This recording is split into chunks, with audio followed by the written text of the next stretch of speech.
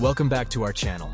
Today, we have a real treat for you as we embark on a mesmerizing journey through the world of French beauty. We are here at none other than the iconic Louvre Museum in Paris, France.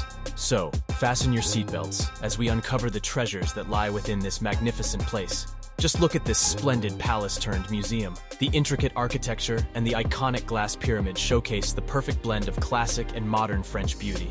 We are greeted by the true essence of art.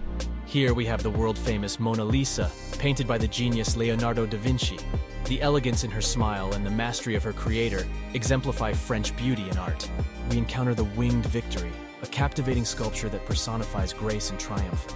Its delicate marble wings and dynamic posture capture the essence of beauty and movement, a timeless symbol of love and beauty.